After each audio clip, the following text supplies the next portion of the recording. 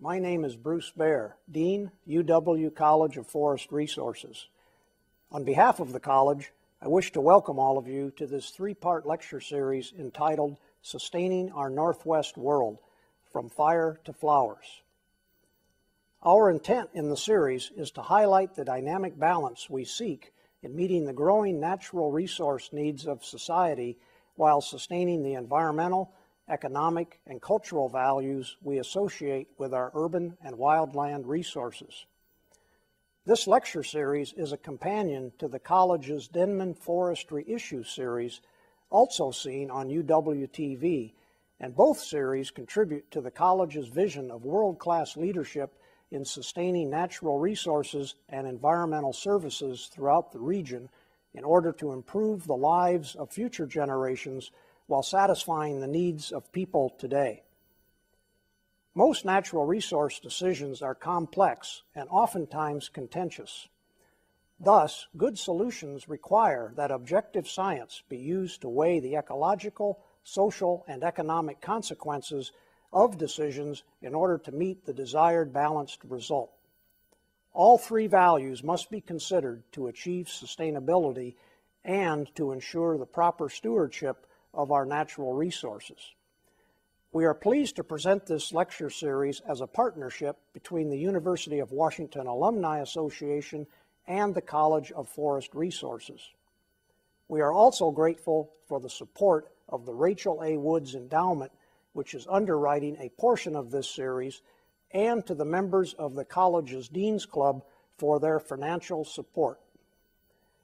I encourage you to contact the college at www.cfr.washington.edu to explore the broad nature of natural resources and to learn how our college plans to educate the next generation of natural resource scientists and leaders while creating and leveraging new technology to sustain the social, ecological, and economic values of our Northwest world. Managing wildfires in the West is a very timely and relevant issue because in the United States and Canada, forest fires have increasingly become more severe and widespread after decades of well-intentioned fire suppression. Millions of acres of forest are at risk of catastrophic fires. Finding solutions involves the use of complex tools and thorough analysis, all based on sound, objective science. Despite increasing fire risk, finding the most appropriate ways to sustain the health of our forest remains a very contentious issue as we enter the 21st century.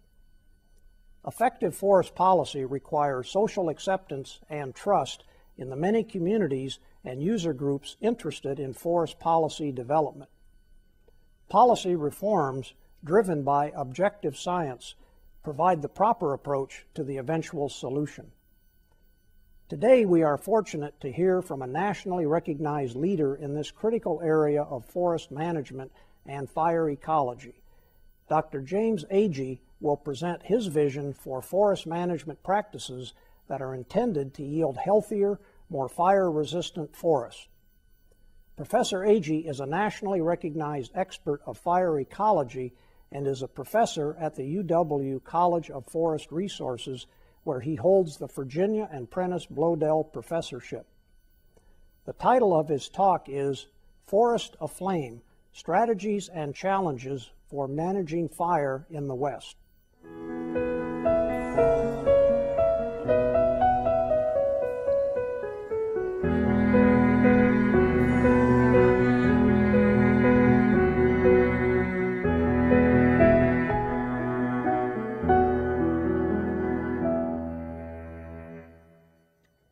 As the title of my talk uh, may suggest, uh, the West has a large fire problem. And uh, although the West has always had fire, uh, the level of catastrophic fire that we've seen in recent decades uh, is really unprecedented in history. Uh, even in the 1950s, while we still had a fire suppression policy, we were burning about a million acres a year in the West. And in recent decades, particularly the last decades, it's averaged about 4 million. So it's about four times as much as, as occurred uh, halfway through the last century. Uh, the states of Washington, Oregon, California, Arizona, Colorado have all had the largest fires in their recorded history uh, in the last 10 years. But unlike other catastrophic events, and particularly those that we've seen recently, earthquakes, tsunamis, volcanoes, we can manage the intensity of fire disturbances, at least in some places, to reduce some of those catastrophic effects. And that's really the, the topic of my talk today is uh, to define to some extent the nature of the fire problem that we have in the West, uh, briefly talking about how we got there, uh, some of the options about what we might do, and then some of the opportunities and, and barriers uh, to actually to actually getting there. But I'd like to outline at least a couple principles that are key to a solution that will come up, I think, several times during my talk. Um, the first is that in forest ecosystems, the only constant is change. And what that means is if we choose a, a non-active or a no-action kind of alternative uh, in terms of our western forests, uh, that particular management strategy uh, will be associated with change. If we choose instead an active management type of policy, that's also going to be associated with change. So we have change uh, regardless of what we do. And uh, I think uh, I'll, I'll, hit upon that a little bit uh, later. Secondly, ecology is a science of place. Uh, the kinds of fire problems that we have across the West are not the same everywhere. And we probably need to think about strategically prioritizing the kinds of, of, uh, of management actions that we might, might think about. In some areas, infrequent and very high intensity, what we might call catastrophic fires, were the norm. Um, they always burn that way, and they burn that way now. But some other forests that are burning that way now, particularly what I call the dry forests, um, historically burn quite frequently. They burn with low intensity. Uh, if you would, kind of they burned as the friendly flame, cleaning up fuels and doing very little damage to the mature trees. The question that we really have is, can we somehow restore, at least in local places, a semblance of those kinds of conditions to begin to mitigate this kind of severe fire that we've had in the last decades in, in these kinds of forests. We began this fire exclusion policy with the best of intentions about the turn of the 20th century. Uh, the idea was that if we were going to uh, finally get control over forest management, we needed first institutions and then we needed plans. The institution that most markedly changed forest management in the western U.S was the creation of the Forest Service in 1905. And in 1910, uh, there were a series of, of, very large fires in Idaho and Montana. Uh, it was the first time that, that firefighters actually hired by the government were killed. About 88 uh, were killed in those Idaho and Montana fires. Uh, and it began a, a major push, uh, essentially to control nature. It was interesting that the same month that these fires blew up and created most of their uh, uh, death and destruction, that the philosopher William James, James published an article uh, that suggested that instead of warring against each other, that what we really needed to do was to have a war against nature, that we needed to control nature. And it was essentially the moral equivalent of war. And this began a, uh, about a decade-long debate as to what we ought to do about fires in the West. Uh, it concluded in the 1920s with the idea that even these light fires that moved around the forest floor across the dry forests of the West needed to be put out because they killed small trees that would eventually become large trees. And at the time, we didn't realize that we might end up actually with too many trees on the landscape and really change the character of, of how those forests function uh, in terms of, of, how they cycled water, um, how they acted as wildlife habitat, and particularly how fire interacted in these particular forests. The next four slides are a sequence shot from about 1908 to 1948 uh, in a typical dry forest. This one happens to be in western Montana. I want you to imagine the way a forest fire might burn through a forest of this type. You see the widely spaced trees. Uh, there's a lot of distance between the forest floor and the canopy, an absence of what we call ladder fuels, that is, fuels that will allow uh, fire to creep up from the, from the ground up into the crowns of the trees. And a very lush understory composed of grasses and forbs and low brush species. There has been just a bit of selective logging in this particular forest type, but the cover of that understory suggests that this has been a fairly open forest. And there were probably 50 million acres of forest like this across the West um, back at the turn of the century. After fire exclusion, this next slide is 1928, and it shows not only more trees, but a different species of tree coming in in the understory. Those overstory trees are almost all ponderosa pine, and those little guys coming in in the understory um, are, uh, are Douglas fir trees, uh, slowly coming in and replacing those other trees. 1938, another 10 years later, you can still see those three big ponderosa pines kind of in the foreground, but you can see that the understory is beginning to kind of fill in again. 1948, essentially we've created a tree jungle uh, with probably a, a couple of orders of magnitude additional trees than were there 40 years previously. And think about a fire burning through a forest like this. This is the, the characters, characteristic of many of the western forests that we have today. Uh, a lot more dead fuel on the forest floor, uh, a lack of green understory fuels like the grasses and shrubs we saw in the historic forest. Lots of these ladder fuels that can carry these, these fires that begin on the forest floor up into the crowns of the larger trees. So it's no wonder that we really changed the character of fire. And when fires get started in these areas, uh, it's much more difficult to control them. Back in that early forest, the way that the first rangers went through and controlled those fires was to walk up to the edge of the fire and uh, uh, tie a pine bough to the tail of the horse and walk the horse along the edge of the flames. Now we sit back 10 miles away, shoot retardant on it with airplanes, and hope that the weather changes. Now, Smokey's been given a lot of blame for this. Remember, only you can prevent forest fires. Uh, in fact, Smokey's kind of been, uh, in a sense, demonized a little bit. Um, but perhaps unfairly. Um, fire prevention always has and always will be an important part of, of the fire management picture.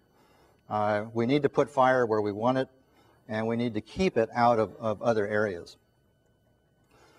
There were a lot of other things that we were doing in the forest as well.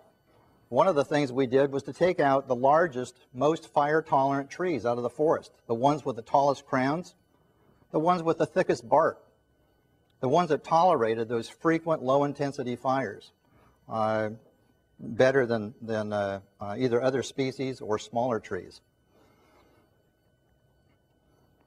Another thing we did was, at least in the early portion of the 20th century, had essentially an unlimited grazing policy. Uh, as many animals as you could fit out on the range uh, went out there. Uh, this had some major impacts on some of the understory species, but another thing it did was it churned up soil and made it a really good spot for trees to regenerate. And the fact that the understory vegetation, the grasses, forbs, shrubs were you know, of lowered vigor because of the kind of grazing that was going on made it easier for trees to get established. If we look at the interior west types of forests, we see that there's been a major shift in the severity of fires. Uh, those uh, uh, pictures on the, on the left there uh, with kind of the red colors indicate uh, the amount of high severity fire or these more infrequent uh, but, but types of fires that kill most of the trees in the stand historically occurring about 20% across that landscape, and now occurring at about 50%.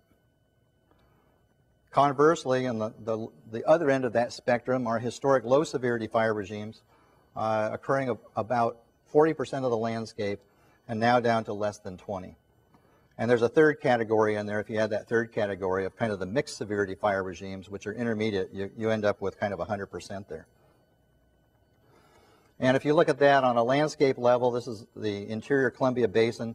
The green areas uh, on the left uh, show the historic low severity fire regimes with the, uh, the red showing the high severity fire regimes. And then how those have changed is shown on the right uh, under, the, under the, the label called now.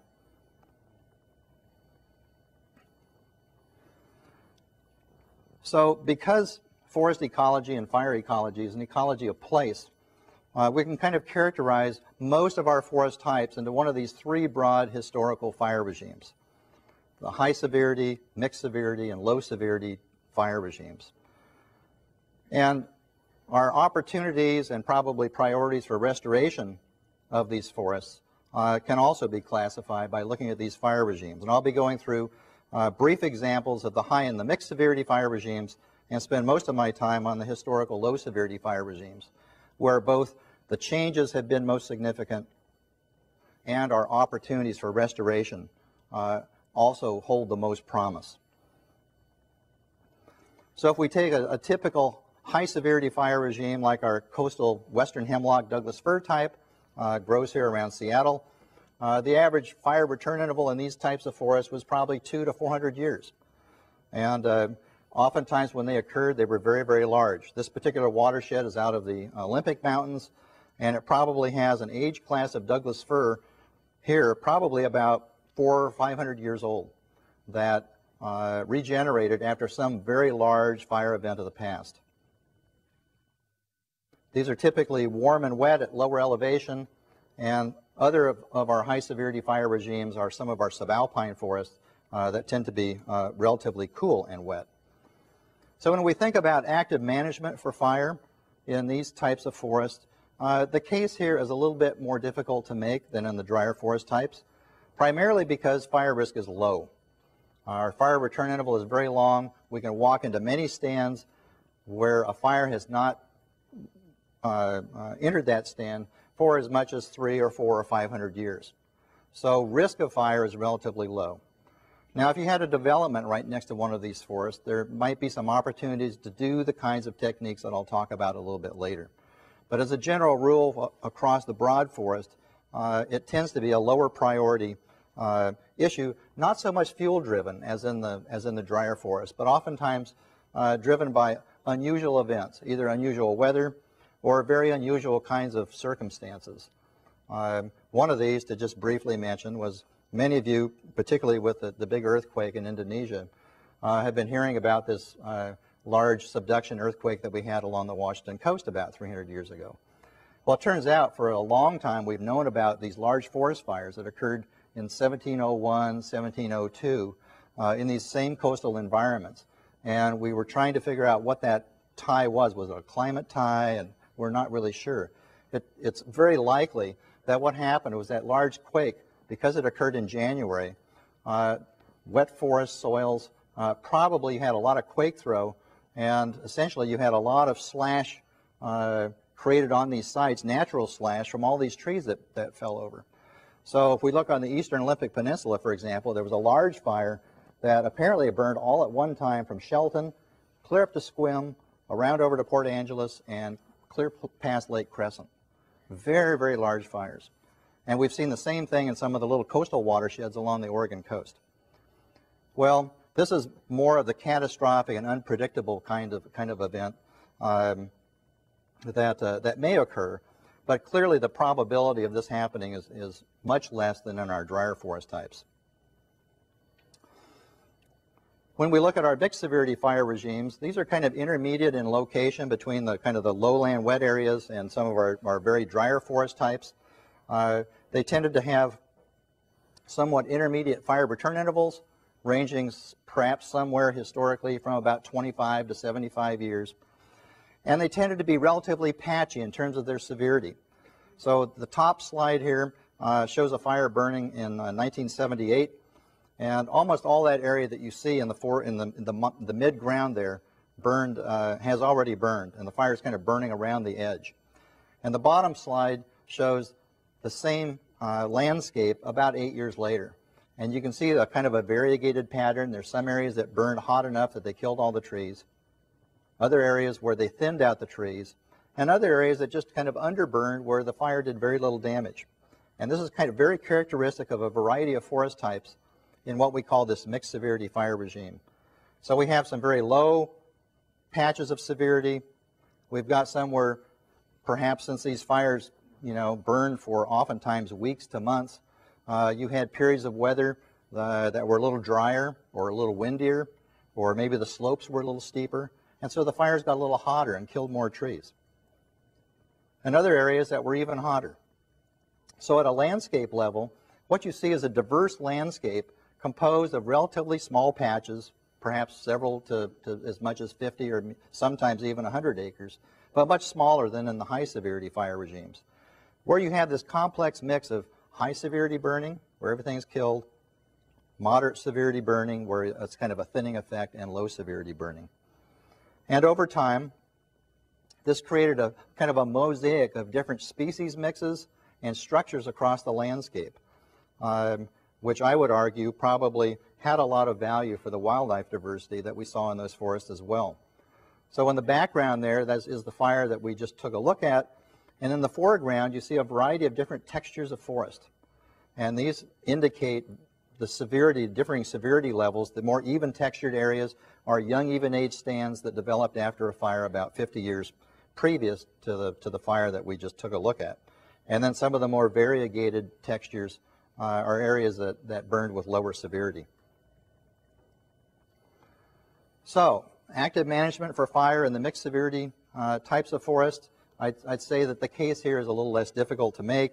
Uh, our fire risk is a little bit intermediate, uh, clearly higher than in these high severity fire regimes, but they oftentimes tend to be in, in somewhat cool uh, types of environments where fuels might build up not quite so rapidly as in the dry forest types. So we have kind of a mixture here of, of these weather and fuel driven events. The poster child that I'm going to use for uh, forest restoration using active management is going to be these mixed conifer and ponderosa pine forests. Ponderosa pine is widely distributed across the west. It goes from the South Dakota Black Hills down along the, the front range of Colorado, through New Mexico, Arizona, to the Sierra Nevada of California, the eastern Cascades of Oregon and Washington, and many of the lower elevation areas in the Rocky Mountains.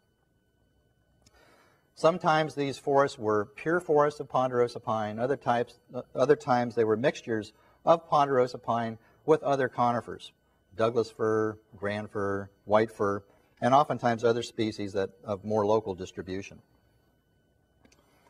The historic forests managed by fire across these landscapes, burning across very frequently, uh, did several things that, that we can begin to mimic in terms of what we call now fire safe principles.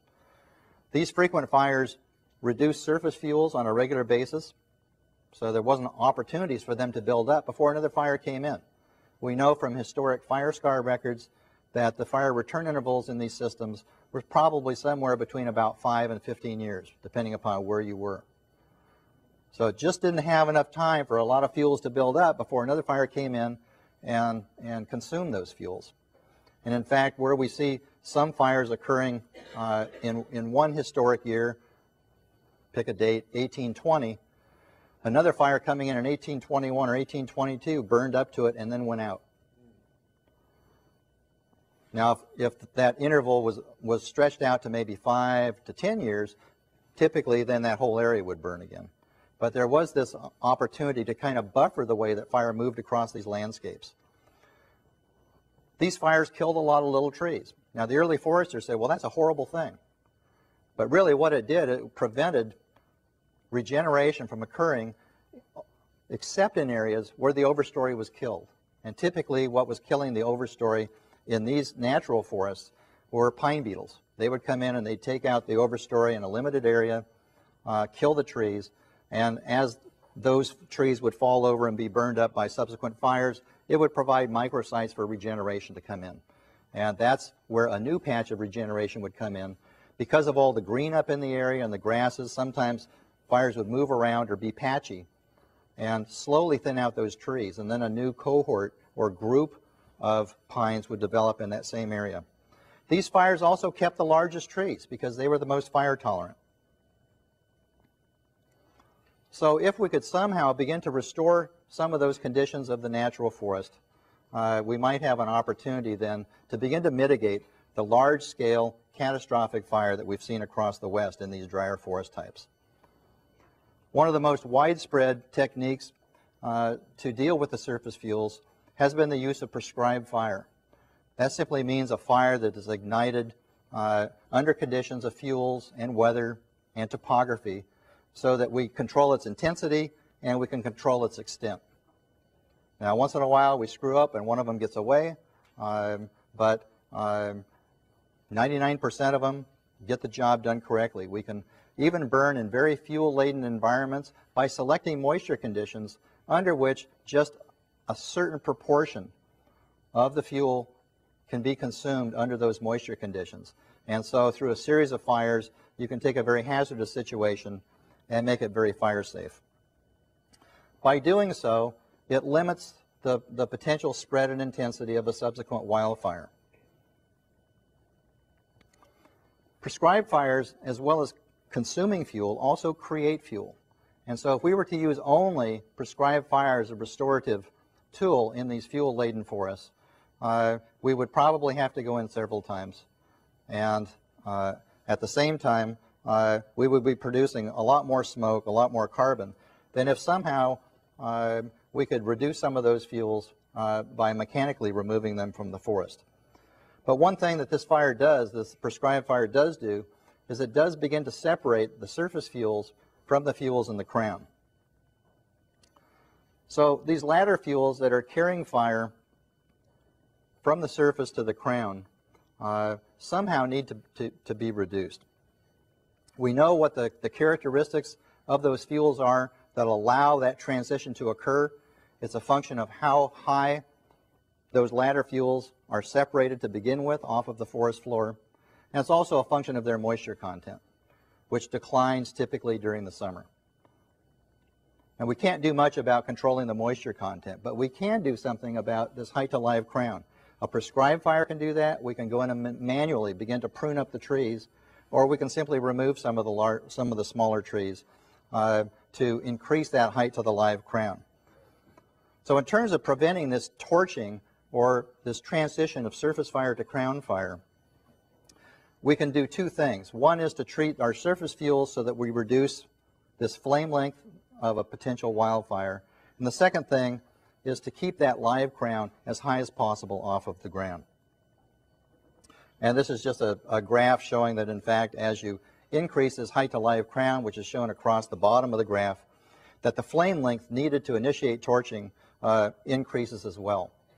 And so if we had a height to live crown of about two meters or six feet, it's only going to take about a three to four foot flame length to, uh, to have torching occur. Whereas if we move that height to live crown up to perhaps um, 20 feet, uh, it's going to take a much, much longer flame length in order to, for that transition to occur. Here's some example of how prescribed fire has, has um, affected these ladder fuels. Uh, that top picture is, is indicating a, uh, an area that's been prescribed burned about three months previous to, uh, to this picture being taken.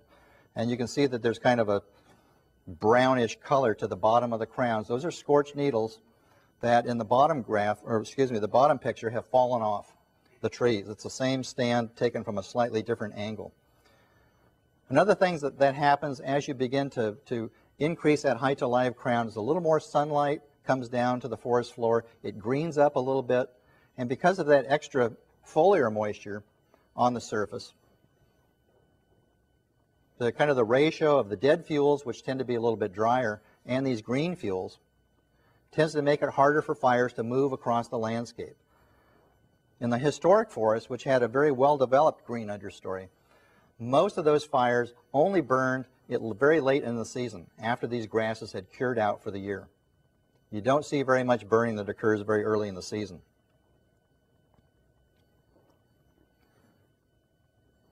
The third element in terms of developing fire-safe forests is reducing the density of the crowns of, of, the, of the larger trees. This is an important thing to address, uh, but it's probably not the first thing that we ought to address. The surface fuels and the ladder fuels are probably the, uh, the more important. By doing this, thinning is going to uh, reduce the mass of the crown, a, a, a, characteristic or a parameter that we call canopy bulk density. And by doing so, it makes, it makes it harder for fire to jump from tree crown to tree crown to tree crown.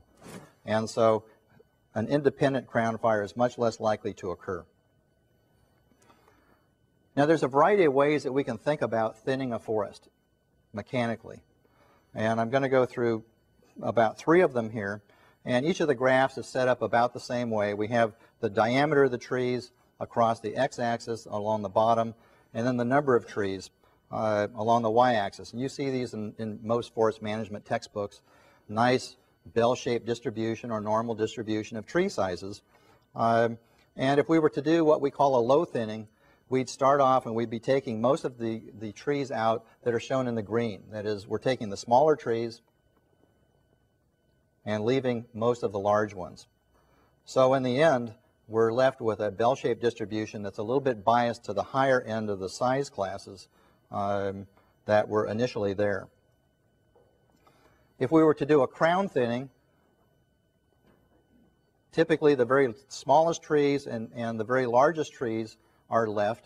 Um, and the trees that are taken out, again shown in green here, uh, are kind of in these mid-range size classes. And if we were to do a selection thin, we'd only be taking out the very largest trees. And of course, these have the most economic value because they are the largest and they have the uh, essentially the most saleable value. So all three are going to be reducing this parameter that we call canopy bulk density. Low thinning, the one that I initially showed you and that's shown in the top here, uh, is the only one that's really going to increase the height to live crown because it's taking out those smallest trees and it's leaving all the large ones. But although these kind of look like, well, geez, the low thinning really ought to be the, the way that we go about treating these stands, in practice, uh, there's typically a lower merchantable limit that's, that's actually a, of commercial value. And so when we look at a, a, more typical stand, which is shown by all of the columns there, uh, showing the density of trees across diameter, kind of set up the same as the earlier graphs, what we see is a different shape. It's not necessarily a normal shape, but it's oftentimes skewed to a lot of the small tree sizes. And that's pretty typical of, of the kinds of, of, diameter distributions that you see in these uh, stands that are choked with small trees. So if we only take out merchantable trees, but start with the very smallest ones, we would be taking out essentially some of the trees, some to all of the trees in that mid-range size class that's kind of indicated by the red envelope there. So we would be left with the very largest trees in the stand still standing there, and also the very smallest ones, with really no effect on, on the height to live crown either. So uh, uh, to illustrate the effects of this on fire-safe principles, um, I, uh, I made a simulation of both thinning and burning. I took um, a stand that's a, a fairly typical kind of east side stand with some very large trees in it, but also a very a lot of very small trees. And the idea was to thin it down to kind of what we think about the historic structure of these stands was in terms of what we call basal area, or the sum of all the cross-sectional diameters of the trees in the stand per unit area. And that's oftentimes about 60 square feet uh, of basal area per acre. I applied four thinning treatments and two fuel treatments, either a prescribed burn or a wildfire. Excuse me, prescribed burn or, or no prescribed burn. And so what we had in terms of our thinning treatments were no treatment would be one. Second one would be a low thin, starting with the very smallest trees, whether they were merchantable or not, and removing everything up uh, until our stand only had 60 square feet of basal area per acre left. A third one being a, an, another low thin, but starting at a commercially viable tree, so about six inches in diameter, and then thinning out the trees of, of up to, in larger uh, diameter classes until we hit that same uh, basal area threshold. And then a selection thin, where we started with the largest trees and took those out, working to leaving the smallest ones. Then we applied a prescribed fire to reduce fuels or no prescribed fire. So we had four thinning options, two fuel treatments. Then we, in these computer programs, we simulated a kind of a worst case wildfire in the summer, the kind that you hear about and see on TV. And here's what we found. Doing nothing in the stand, as we already know, uh, ended up having a essentially a, a stand replacement effect. So the amount of green in each of these columns indicates the amount of live trees, essentially, that are left after treatment. Um, the UM over there on the left means unmanaged. Our selection thin, where we took out all of the big trees, uh, also didn't fare very well because the trees that were left had lower crowns and thinner bark. Where we began to use, utilize prescribed fire to do fuel treatment and where we left large trees had the best survival. And that's what you see moving over to the right. And in fact, I thought kind of unusual uh, in this simulation anyway, with this forest structure, our unmanaged stand where we simply applied a prescribed fire, we didn't do any thinning treatment at all, actually had the most, in, ended up after this simulated wildfire having the most basal area left of all of the treatments. So the take-home points on these kinds of, of, actions is that no action at the disaster, uh, thinning from above, which means taking the larger trees and leaving just little guys, uh, that doesn't work out very well either. Low thinning is the best thinning method and prescribed fire is very helpful. Uh, but it probably has to be applied more than once to be effective. So these fire-safe principles at least were uh, seem to have been validated by these simulations that treatments that reduce surface fuels, that raise that height to live crown by reducing ladder fuels and kept the big trees, did the best. Now we do have some empirical or just visual evidence that we can go out and look at areas that have been burned by wildfires that have been treated or not treated, and at least make some, some other validations uh, of these kinds of treatments. We, it's very hard for us to do experimental crown fire work uh, outside of, of the Canadian border. Every time I've gone to a forest supervisor and said, gee, you know, how about giving me 50,000 acres that I can burn up in a catastrophic fire and measure the temperature and, you know, see how many trees die. Um, well, yes, they did. Uh, actually, they've, they've done almost all of the experimental crown fire work, and some, some folks in Alaska as well. But almost all of the, the experimental evidence and theory of crown fire that we've developed has come out of Canada. So I'm going to go through several examples here just to show what was going on. The first are, are the Hayfork fires that occurred in California in 1987. Um, there was past active management there. It was not done with fire safe principles. Most of it was overstory removal where they uh, simply were, were, taking out some of the largest trees. Uh, but they left a number of fairly good sized ones as well. And they did some areas with fuel treatment and some areas with not. The um, uh, kind of the height of the green in these graphs show the amount of um, um, of mortal mortality, with the green being essentially most all of the trees uh, surviving. Uncut stands did the best because they had the largest, really big, old growth, fire tolerant trees. But the cut stands did okay too as long as there was fuel treatment.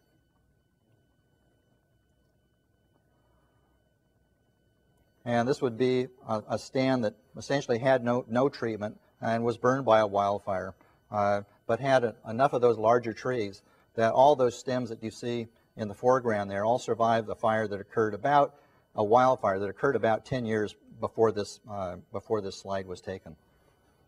Another California fire, the Megram fire, which also occurred in the north coast. They were able to, it, this followed a large uh, wind snap wind throw event in 1996, uh, which created a lot of tops and stuff like this on the forest floor. Uh, the Forest Service down there was able to go through and essentially do surface fuel treatment, getting rid of some of those tops. They didn't do much overstory treatment. And what you see here is a kind of the, the line between untreated forest, where all those tops were left out there, and a fuel break where they only dealt with the surface fuels and some of the ladder fuels. As you can see, it's a very dense crown, and uh, they didn't really do much in terms of, of uh, manipulating the overstory. So these were stands that still had about 70% or more cover uh, within the fuel break. Uh, this is just the boundary. This is not two different slides. This is one picture with just a yellow line down the middle of it showing where the fuel break began and where it stopped. More close to home here, the Tyee fire, which covered uh, 120,000 acres in eastern Washington uh, in 1994, uh, an area of high lightning activity. Uh, Areas that had been treated, this stand on the left had been treated uh, by taking out only stems that were less than six inches in diameter. It was near a residence, and uh, they did it under a special use permit with the Forest Service. They pile burned the debris and limbed up the trees that they could. A crown fire came right up to the edge of this stand, and within about 50 feet of encountering this stand, dropped to the ground and underburned it as a surface fire up to the house, which was saved. And two months later, this was one of the few green spots on that landscape, and eight years later, remains one of the few green spots on that landscape, which once was fairly heavily forested and now looks like Kansas wheat fields with snags sticking out of it. Another area in that same fire, um, not quite as much survival as we saw in the other one, primarily because the scale of operation oftentimes was very small where they had done treatments. And uh, a lot of the heat from the crown fires moving across that landscape uh, not only scorched the, the, the, trees from below, but the hot air moving across the top oftentimes scorched them from above. A, kind of a, an effect that I call the BLT. You know, you have this little strip of green in the middle, and then you got two pieces of toast on either side. Um, so scale is important. If we're going to do this seriously, we have to think about larger scales. One final example on the Tyee. Uh, from the left, a crown fire was approaching this area that was, that was treated with these fire-safe principles in the 1970s. A very thin strip, only about 200 feet wide, uh, but they thinned out the crowns a little bit, they pruned up the trees, and they treated the surface fuels. This crown fire came up to the fuel break, immediately dropped to the ground, burned as a surface fire under that fuel break, and immediately popped up as a crown fire on the other side. Now there's a little blue dot there, which is kind of a close-up uh, where the next slide is, is shot. And that yellow line is the edge of the fuel break, with the left being the fuel break and the right being the, the, uh, the crown fire area. The trees within the fuel break were also larger because once they were thinned out, the photosynthate that they were able to capture uh, from the sun was allocated to, to many fewer trees. So each tree that was there got larger. And this was about a 20-year-old fuel break. So on average, the trees in the fuel break were about 12 to 15 inches in diameter, and the ones outside were probably more like about 7 or 8 inches in diameter. So the ones in the fuel break were bigger trees. They had thicker bark and uh, fewer fuels. Probably not, uh, not unusual that they survived. Another California fire, the Cone Fire, 2002. This was an area that was within an experimental forest, and they were evaluating effects of thinning and prescribed burning on forest structure and wildlife habitat. Uh, in 2002, a wildfire came into their, their areas. They had just treated these areas. They were fairly recent, within the last five years. Where they had done some thinning of the forest and some prescribed burning, the fire actually went out. It didn't even go into those areas where they had done some thinning with some lop and scatter treatments. That's where you essentially compact the fuels but don't really get rid of a lot of it. Uh, there was a lot more crown scorch in those particular fire areas. So the untreated area on the right, and if you turn around kind of a 180 degrees, the treated area uh, on the left where the fire went out. And in this area, it took about 500 feet for the fire to transition from a crown fire down to the point where it was not doing any damage at all. So we can make those transitions. One last example, the B&B fire uh, in Oregon. Uh, this is the kind of the pre-treatment after thinning. After a prescribed burn in that thin stand. And after a wildfire went through that area, causing pretty much stand replacement mortality across much of the landscape, but not here where those fire-safe treatments had been, had been applied. Just as a note of caution, uh, the Hayman fire, this large fire that occurred in Colorado in 2002, uh, had a, um, an amazing run during exceptionally severe weather. And the kinds of fuel treatments that I've talked about here didn't really have as much impact during that severe run of, of the fire, that one day where it ran about 18 miles. Uh, even areas that were treated suffered a fair amount of mortality. So fuel treatment was effective when the weather moderated, but with 70 mile an hour winds, uh, they still had a tremendous amount of mortality. So we know for the most part that stand level treatment, particularly if it's done at an appropriate scale, uh, will work. How much of a landscape needs to be treated? We're thinking maybe from a fire control perspective, if you really got forces out there on the ground, maybe 20 to 25 percent. If you're interested in, in uh, uh, treating more widely across the landscape, assuming that maybe those fire control forces aren't going to show up and you want some of that forest to survive, you better treat a larger proportion. How long will it be effective? Uh, we're going to have to come back and think about maintenance treatments. Um, particularly if you're going to use fire alone, it's going to take a couple of, iterations with probably within a decade uh, to create a fire safe condition and maybe a maintenance treatment every 15 to 20 years uh, after that. Can we actually do this on the landscapes of today? Uh, there are a lot of constraints. Uh, whether they're real or whether they're perceived doesn't really make too much difference. Um, there's a fear of active management. You know, if if we allow managers to go in there and cut trees, will they do the right thing? That's a real fear that people have, and uh, uh, it's something that's that's going to have to be built up uh, with trust and by managers doing the right thing. There are perceived to be wildlife impacts of varying kinds. If we use thinning on a, on a wide basis, are there going to be eroding effects, uh, soil compaction, other kinds of things? It's also going to be more difficult to do these kinds of treatments with an expanding developed zone or urban interface zone spreading out into wildlands more than ever before. And we're also going to be doing these in a changing world, a world of global warming, um, and uh, where things like global carbon balance uh, may become a real driving force in terms of, of forest management. These are all risk management issues, and we do, in general, a pretty poor job of risk management and trying to assess these, um, uh, these types of issues. We've had a, a, um, a, Healthy Forest Act, Healthy Forest Restoration Act passed uh, after the large Southern California fires in 2003. Um, I think it provides a good policy direction, but the devil is really in the details uh, of how those things are actually uh, play out over the landscape. It does specify that there should be a focus on small diameter trees, uh, fuel breaks, prescribed fire, um, and it does have some limits in terms of, of how widely it can be applied. And generally, it's supposed to be applied in these drier forest types uh, where the changes have been most catastrophic. A lot of it depends on funding.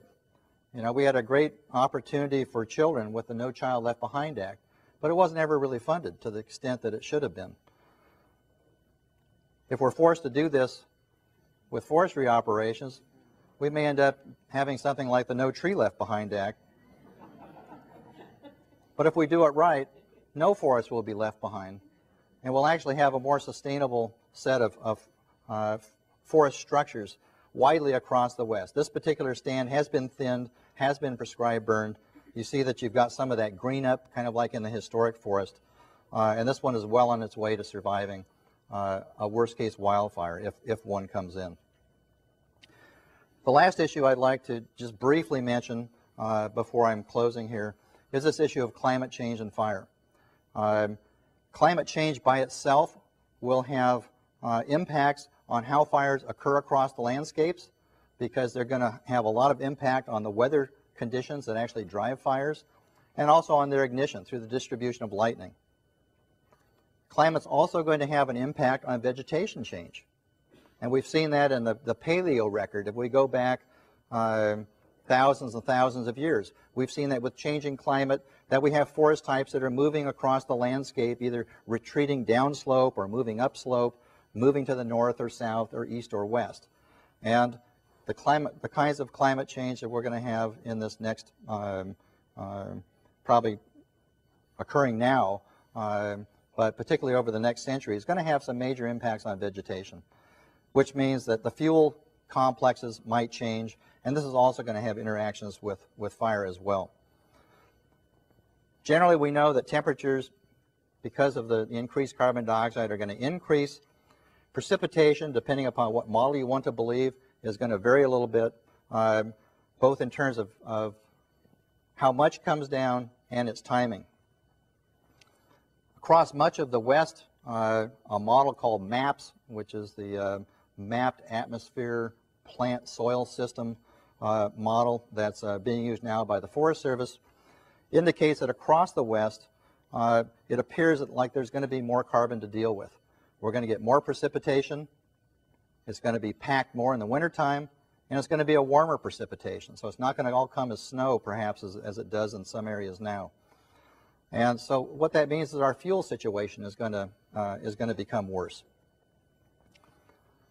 How are we going to deal with this? Well, we might deal with it through managed fire, like prescribed burning. But prescribed burning tosses more carbon into the atmosphere. Now, there may be a trade-off between reducing wildfire emissions and the use of prescribed fire, but that's a very complex set of trade-offs. If it, if it occurs at all, it may, have, it may have a rationale in the drier forest types, but it won't at higher elevations or in the wetter forest types. Another alternative is to harvest this extra carbon and use it as biofuel, converting it to some sort of, of, uh, of energy through a variety of different, um, uh, different techniques and essentially offsetting the use of fossil fuel carbon. And then the third one is to harvest it and actually capture, capture that carbon in building materials, like 2x4s, and uh, actually having it in buildings so it doesn't end up ending up in the atmosphere. So we know it's going to be a complex future. Uh, we've got the historical role of fire in these dry forests, which we might call the good. Uh, we've got what's happening now, which we might call the bad and the ugly. Or we can think about a restored forest using active management. We know, we know the principles that should be applied. Can we apply them? Will we apply them? I believe that a sustainable future for the dry forests of the West depends upon active management and a commitment to do the right thing, a land ethic at its best. Thank you.